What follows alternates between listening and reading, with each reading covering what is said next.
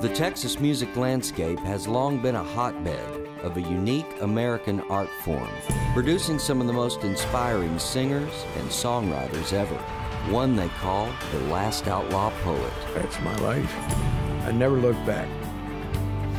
Now there's a new breed of troubadours out there. Some living the dream, some just hoping to catch a break. And now more than ever, it's about the songs, the strategies, and the will to rise above the rest. Where dreams live and die and rise again.